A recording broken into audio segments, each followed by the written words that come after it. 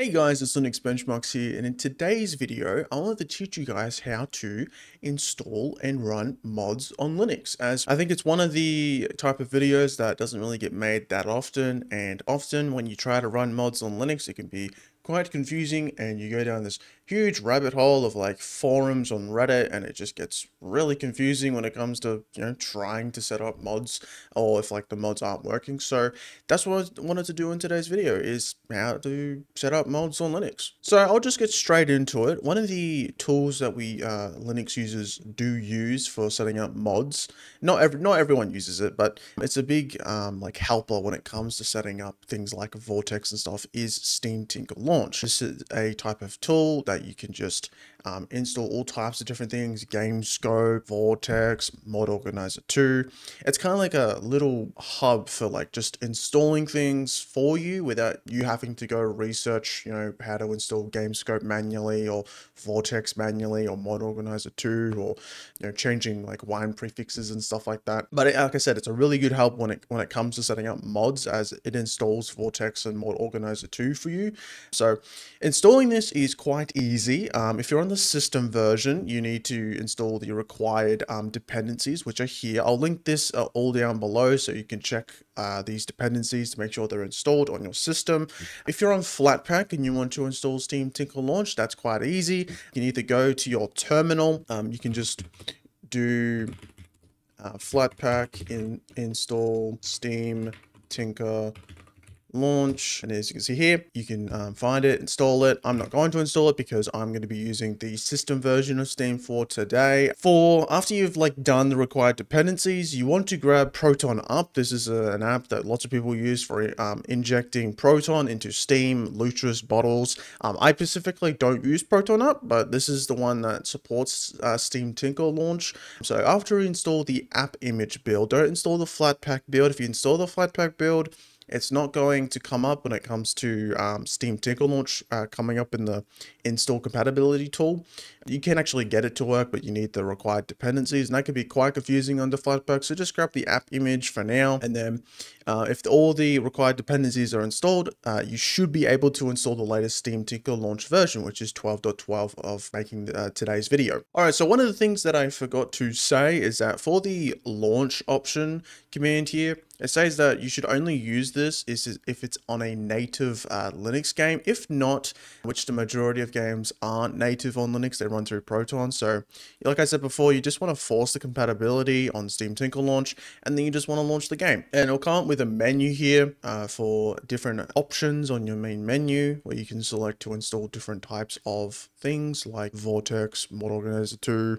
So you can see here, here is Vortex. We want to click on Vortex, it's going to launch another window, and then we want to click install. We want to select our version of Proton. So I'm going to uh, just select Proton 8.04c, uh, which is the latest stable version of Proton on Steam. So it's just going to use the um, Proton versions that we already have installed on um, in our directory in Steam. So um, I would just recommend just selecting the, the normal version as that would probably be the best option. Uh, you can do Proton GE as well, um, but just to be safe, I would probably just use the normal Proton, like the latest um, stable Proton. All right, and after it goes through all the install windows, um, it's basically uh, done and we can just click start and this will start Vortex for us where we can you know, log into our Vortex account. As you can see, it's just preparing it for us. It's applying some Vortex settings for the game that we have selected, which is Skyrim, um, the Skyrim Special Edition. As you can see, Vortex is finally launching. They're doing some like setups. Once this loads, um, we can just log into our account. So open this here, want to authorize it. Um, if you're not logged in, you log into Nexus Mods and then you just you know, connect it. And then it's going to ask if you want to download some things, allow some diagnostics. I'm going to deny that. I don't want it to really pick up anything. Um, there is a major update for um, Vortex, it seems. So we want to download that. All right, we want to restart Vortex. So window will come up, which is just like the Windows, which it is actually the Windows installer um, running through Wine, which is pretty cool. It cannot be closed. Try again. Oh, we gotta we gotta close Vortex wherever that is. Search for Vortex Vortex. Can force stop this. We go retry. Okay, now it's installing it. It seems like Wine couldn't close um, the vortex.exe, which is um, quite weird. I don't know why I wasn't able to do that, but we just did it manually there. And now it's able to actually install the update. Um, now we can run Vortex again. All right, and now that we have updated Vortex, we can finally start, you know, adding some some games and then uh, adding some mods to those games. So then we can, you know, start playing games with mods. So we chose um, Skyrim. So we're gonna choose um, Skyrim Special Edition, as that's the one I own. It says that I have some mods from previous stuff, which I did. Um, now it's gonna start, you know, setting it up properly. Um, mods changed on this. Mods have been changed on this. This means that mods that were managed to Vortex disappeared. All the mods that Vortex probably didn't know about appeared in the staging folder since the last time it checked. It's highly, highly discouraged to modify the staging folder outside Vortex in any way. All right, so apply these changes just to fix that problem because um, I like to muck around with uh, different vortex managers on different like on bottles and stuff like that. That's probably why um, it, that came up. Um, but we can enable these mods that we already have installed. Um, I'm pretty sure, what's it say? This mod has no source assigned. The source tells Vortex where the mod came from and applicable. Uh, we probably need to actually remove these because, you know, it can't find the source of where these actually like originally came from in their version. So probably just want to install this manually. So we'll do install from file, go to our home directory, downloads to where the mods are because I already have some here. We can install script extender. We got the quality world map. This changes the map in Skyrim to something a bit more like quality of life improvement. What else? And then we probably want the all-in-one address library as well, just if we want any other mods that require that type of um, library. And that's basically it. As we can see, it's enabling the mods properly. Um, I remember a while back when Vortex uh, didn't really support Proton that much. And what would happen is um, you would have to run a really old version of Vortex. And it was like, for one, buggy. And there was like dependencies issues. And it was just it was really bad, but now it's pretty good. And I know that Vortex, they are working on a um, separate new mod manager that will support Linux. So this won't matter within like a year or two maybe, uh, but for now this does matter. It's the way you kind of have to do it um, within Steam, of course. Of course, our save files and everything are working and our settings are working. So now we can just load into the game and we can have a look at the quality um, of life like map mod that we applied, which will change a couple of things. And as you can see, the game is uh, working and we can go into our map and I'm pretty sure this is the quality of life improvement mod. I don't think the map uh, normally looks like this. If it does, then I guess the mod isn't working. All right, so I, I, did disable the quality of life improvement on the map uh, mod, and as you can see here, um, this is with the mod disabled, and it's way worse, I would say. I mean, it's not bad by any means, but it is uh, the quality of life improvement on that map mod is uh, a lot better than the one that is normally in the game. So um, that means that like the mod is working. And so um, there's nothing really else to say about setting up this on Steam. Uh, if we wanted to set this up, let's say on bottles, I know you can do it on Lutris, but for some reason it's using an older version of wine, which we could easily uh, replace. So on bottles though, you just, you know, you want to create a bottle called Vortex. I already tested this a really like a long time ago, I would say like a week ago I tested it and you want to just grab the vortex.exe and then uh, launch it and basically you just go through the same exact steps as you did with Steam Tinker Launch and it'll just install the dependencies for you and um, you can just start like grabbing the games from your Steam library, or if you have, let's say, pirated games, uh, you know, if let's say those pirated games are on a second drive, um, you will need to give Bottles access to that second drive by going to Manage Drives and then adding your path, and then also adding a permission on Flatseal um, if you're running the Bottles Flatpak, which you should because that is the official maintained packaged version of Bottles. So you just want to add a uh, path um, here. You would just do like for me, it's like slash games, and then Bottles can see that. So what if you want to mod games like Valheim or Lethal Company?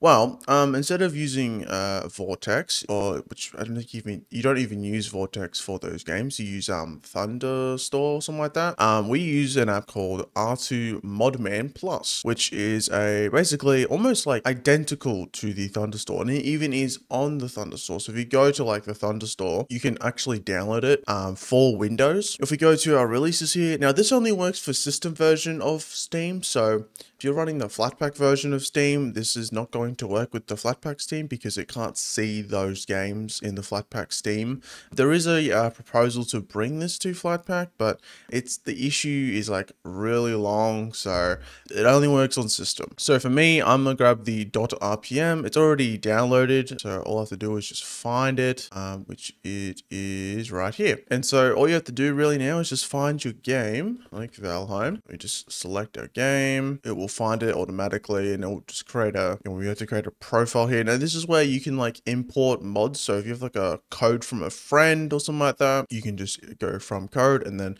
it will import all the mods for you of, of their like profile. So we already have just the BepInEx um, in here, uh, but we can grab a bunch. And then basically after that's done, we can just do start modded. I mean, Steam isn't launched for me at the moment, so I might have to wait a little bit. And now that we have Steam open, it's now launching Valheim automatically for us since we've selected uh, start modded. As you can see there, the BepInEx uh, little terminal showed up. That means that, uh, you know, the mod uh, manager is working. So when it, when it comes to like mods on this, this is actually like so easy to get set up and running.